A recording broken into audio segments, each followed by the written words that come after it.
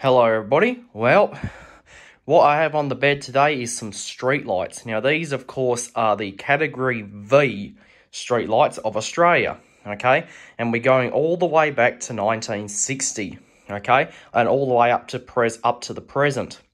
Okay, now these are just some examples of the um, fittings. I don't have all of them eh, back all the way. There are some others that I don't have, but these are just some examples or some samples. Okay, generally, we're talking about the lamp caliber. We're not really talking about the actual fitting. We're just talking about the lamp, okay? So we're going from fluorescent to high intensity discharge, which is mercury vapor, high pressure sodium metal halide, to LED. Now, there were some other um, lamps. We had low pressure sodium. Unfortunately, I don't have any of that. Okay, if I did, I would have it here, but unfortunately, I don't. But I'll just show you some. some. Okay. So, um, so these are the fittings here. These are, were commonly, these are on used on major arterial roads, so such as um, industrial streets, uh, commercial grade streets, freeways, highways, even car parks or um, or anywhere which is category V for so, and that's these type of fittings here. Okay, so I've got some some various ones. Okay, and I'll tell you about them. Okay, so um, so we'll start here and we'll work our way over. Okay, so the first one that I have is a Daylight Adelaide. This is a, um, a, a fluorescent street light pattern. And this dates back to the 60s, or perhaps even earlier. Okay, but I don't really know much history of it, but I do know that it was used on all the major roads back in the 60s era, so the hippie era. So if you were a hippie, you would have seen these used on all our major roads in Australia. Okay, now you'll still find these Okay, you'll still find them in a lot of um, old abandoned places, even some uh, substations or perhaps even some a car place if you go to South Australia. Okay, but um, this is um, the fluorescent. Now, the tubes that I have in here are actually LEDs, but it was fluorescent, which is T12 fluorescent tubes, okay? Um, and they were used, okay? so this would have been a 4 by F40 T12 uh, light. Okay, now I do believe you could get it as a free, okay, or you can get it as a as a double. Okay, it's similar to the to the Rode LED of today. Okay, it's very similar to that. Okay, so this fitting here, as you can see, it looks new. That's because it has been restored. Okay, I had to restore it. Okay, I got this, actually got this from a substation. Okay, and it, and it was filthy, but it has been restored. Okay, another thing that I was able to do was I was able to recut all the threads on here. I was able to get some imperial dies and and and and um and tappers for this to recut the threads. Okay, so um so this batten here is one and a 1.2 meters in length. Now, other companies did have fittings that were similar. I think GEC had a batten, which was identical. Okay, but I don't have one of them, but it was similar to this. Okay, so so that was that, and that was used all the way up until I think the eight to the eighties when we switched over to high intensity discharge lights. Okay, now actually, um, during this era, we actually did have high intensity discharge lights available. We had low pressure sodium. Uh, I don't have any out, but I do have a know, high pressure sodium bulb globe here. It's similar to this. Um, this is high pressure sodium, but it's similar. I had a, a U-shaped arc tube. Okay, and the globe had a a B22 base, and it was a really long globe. Okay, and it had, and it was an interesting shape. Okay, and that was low pressure sodium. And there was actually a fitting like this called the Daylight Adelaide, which was actually in low pressure sodium. Okay, so um, so when we were using this, we there were, so when this was out, there were um, low pressure sodium lights available. Well, not many, but there were okay, and that was basically our first high intensity discharge street light that we used. Okay, so we um, so we switched over to low pressure sodium while this was being used. Okay, and and this was still being used when low pressure sodium was around. Okay, so um, so that's um the daylight. Now the moving on over, but in the I think it was in the early eighties or the sixties, we switched over to high intensity discharge like mercury vapor, high pressure sodium, and metal halide and that's what I've got here. I've got a Sylvania Roadstar and a OptiSpan, which are, of course, high pressure sodium and metal halide. Okay, now I've got the two globes out here just to compare.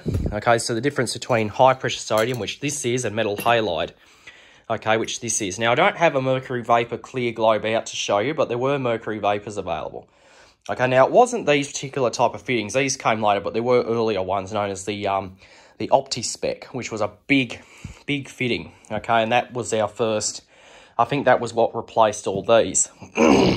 now the OptiSpec could have two configurations. It could have um, integral control gear or remote control gear. Okay, but this one here, but these ones are both integral. The control gear is built into the fittings. Where the very early ones, the control gear used to be remote. There used to be a box on the pole that would run to the fitting. Okay, and that would have all your ballast, your starter, and everything in it. Okay, now the very, I think the very first ones didn't use photo cells. Okay, the um, they probably used timer switches, I think. Okay, to run these because these daylights didn't have photo cells. Okay, photo cells came, I think, in the eighties. Okay, but excuse me, but um, but these were the but after the OptiSpec, we had some other fittings, but then, then we had the OptiSpans. There were some various uh, models or variations of the OptiSpan. Uh, there wasn't a model where, where it was all completely uh, metal, okay, didn't have this polypropylene cover, okay. Um, but that but that one's just an example. And that one there is um is a 250 watt high pressure sodium and 250 watt metal halide, so it will run either. And the same with the Roadstar that I have here, it's the same.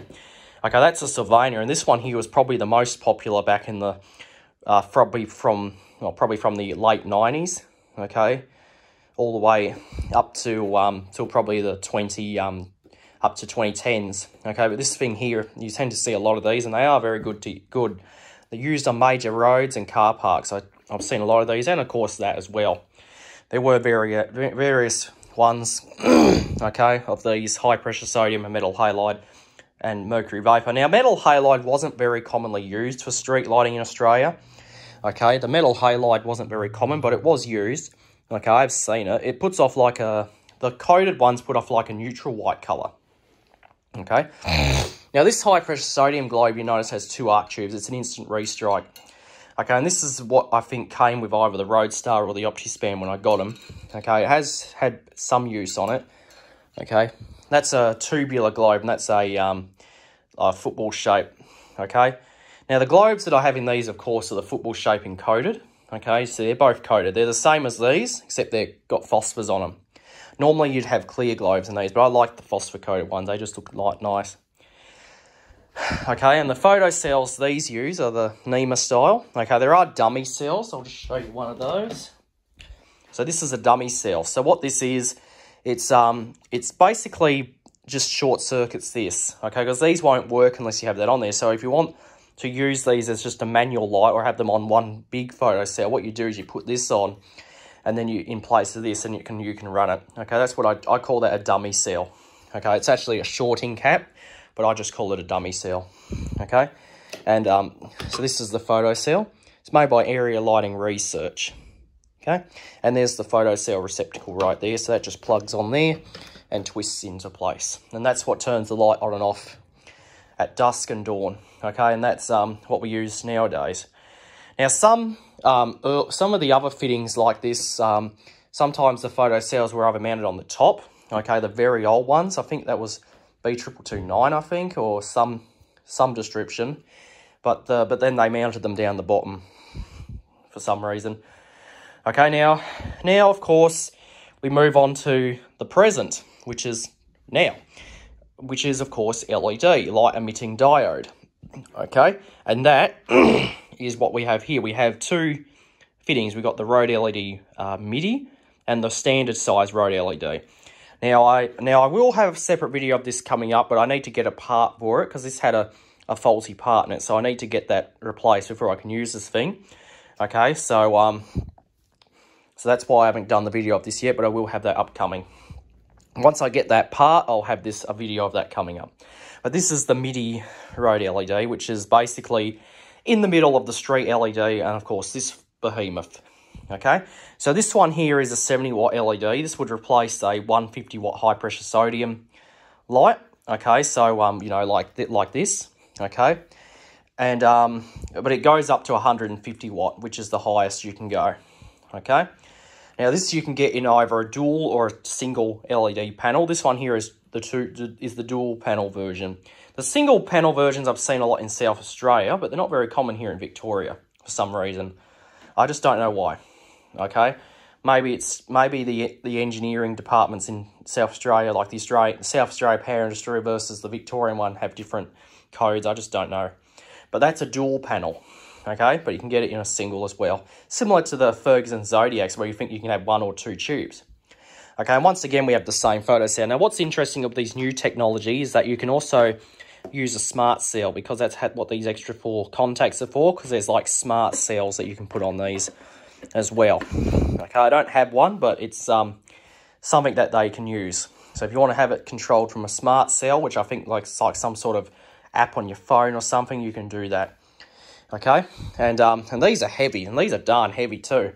I think they're way more than this thing. Okay, this is die-cast chassis, but it's polypropylene. This thing's completely die-cast. There's no polypropylene cover whatsoever.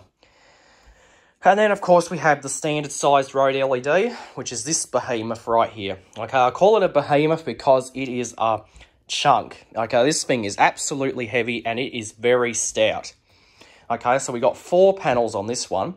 You could get three or four. Now, this used to be available in two and one, but those models were discontinued when this came along. So now this is only available in three and four only now. So if you buy a um, a 155 watt or up, you'll get you'll have to go for this one, and it'll be either three or four panels. This one here is a 275 watt version. Now this was an error screen when I got it, but I didn't like that, so I swapped the diffuser over for the standard size. Okay, once again, it's the same type of photo cell, smart cell compatible. You can put a smart cell on there if you want. okay, you mount your spigot arm in through here, same for there. Now, um, okay, so this one here is just an absolute behemoth of a light. That thing would definitely scare away a vampire. Okay, so if you have vampires keep annoying you, just get some of these. They'll definitely keep them away. Okay, and this thing will as well, because these things are pretty bright, even for the lower wattage. I've seen them running on streets, and they're pretty bright. Okay, believe it or not. So if you think 70 watts not very bright, it is not. Okay, if you've been playing with LEDs, it's power, it's bright. Okay, so so that's um, the lights that we're using now in 2022. Okay, so, um, and they, these are slowly replacing these, okay, because all of these are old technology. These are basically analog, analog lights, okay?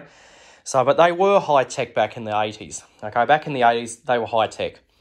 Okay, they, they were the thing, okay, and, they've, and they were pretty reliable. Okay, and they replaced the old fluorescent, okay?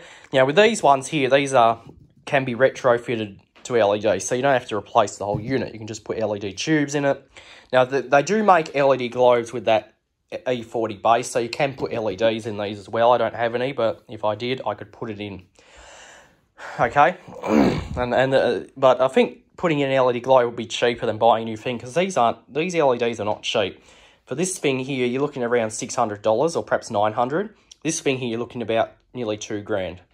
Okay, so they're not cheap okay, because they are solid die cast, okay? They're very heavy, okay, and they're probably very expensive to manufacture, so that's why they're expensive. but they are, but you get what you pay for. An LED, the lighting of the of the of the future, they'll last you for years. Okay, you'll get lots of years of trouble-free service out of them. Okay, so you won't have to worry about them uh, and there are parts available, so you can, uh, the parts are diffusers, so if you've got a broken diffuser, you can just replace that.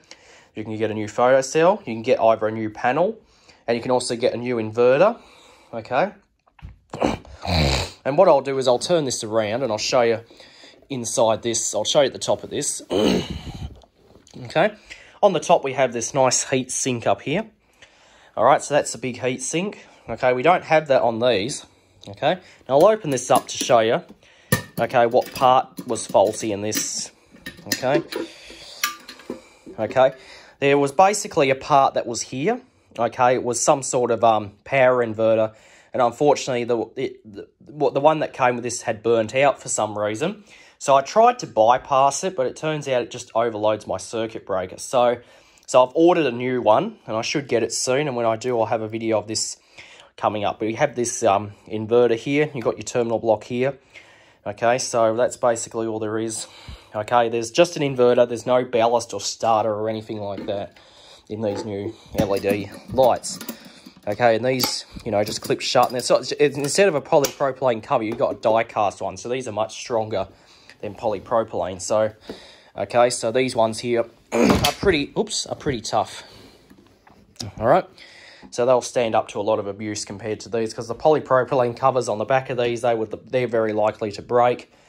Okay, and I often do see a lot of these fittings where the diffusers are missing or the cover on the back is missing. Okay, so um, so that's why so that's why I've seen a lot of them being replaced with these. But that's basically all there is to the major road lights. Um, like I said, we started from the 60s. Now, before this, we had incandescent fittings. We had the 300 watt incandescent before this thing, but those were replaced with this, okay? And then, of course, we had our high intensity discharge with low pressure sodium, metal halide, high pressure sodium, and mercury vapor. And then, of course, now we have LED. Okay, so um, so if you uh, so if you have any questions about these lights, or if you want to see more about them, I've got individual videos on all of these fittings. So if you want to learn about that, about learn about them, okay, and I tell you some of the history. But this is just a video of showing you all all of them side by side, so you get so you can see the difference between them. And of course, I will have a video of the MIDI coming up soon. Okay, but I do have videos on on the daylight, the Roadstar, the OptiSpan, and the standard road LED. Okay, hope you enjoyed, and that'll be it.